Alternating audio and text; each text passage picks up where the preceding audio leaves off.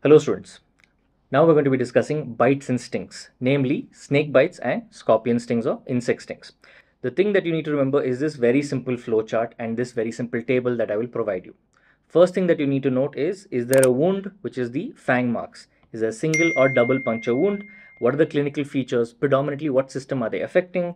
And are there any tests mentioned such as the 20 minute whole blood clotting or TAP test?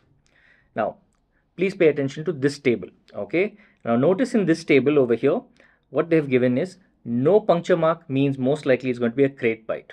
Usually also they'll tell you that this was uh, a presentation in the early morning and that the person is suffering from abdominal pain. Then we have neurological symptoms.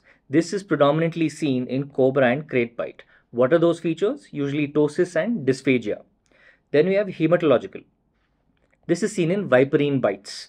What are these hematological features? Well, the clotting is affected. So therefore, the person will start bleeding from all orifices, including the puncture wounds where the snake has bitten. Then we have autonomic dysfunction.